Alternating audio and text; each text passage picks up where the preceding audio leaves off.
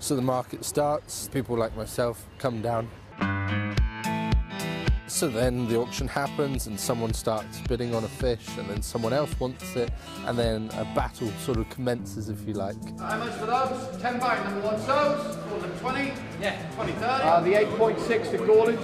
This is our buying books. So we write down weights, costs of things. The quality can vary quite a lot, so you need to know what you're what you're looking for. And for us, it's freshness. It's a shiny fish. It's red gills. It's, it's still got the the shine in their eyes, like a sparkle. I know it sounds funny, but it, it's true. We are an island.